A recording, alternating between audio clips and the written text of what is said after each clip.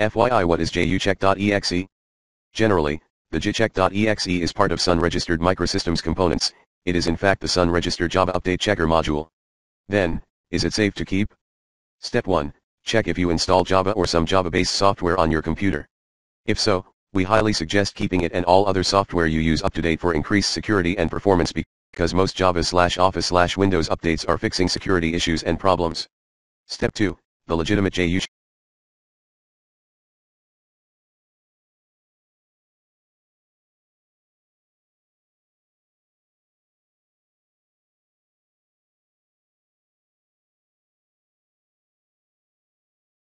.exe file is stored in the C colon backslash program files backslash java backslash jre6 backslash bin backslash jucheck.exe.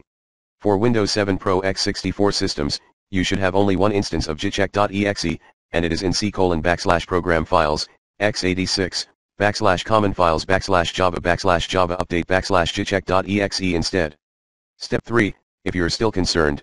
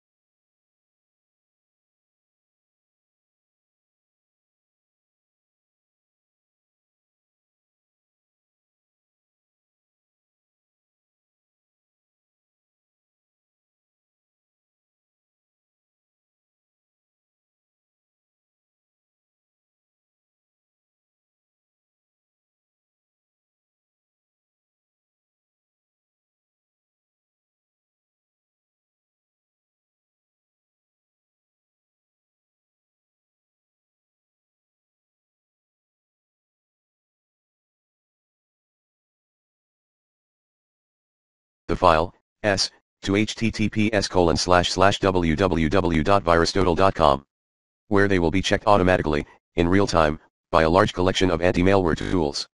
If you find jucheck.exe file is using a high amount of RAM or CPU, try one of the below two options, 1.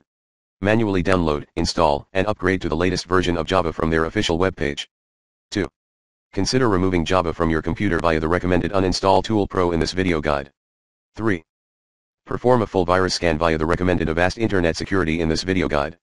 4. Stop Java's automatic update feature, open Java control panel. Click the Update tab and uncheck the option Check for updates automatically.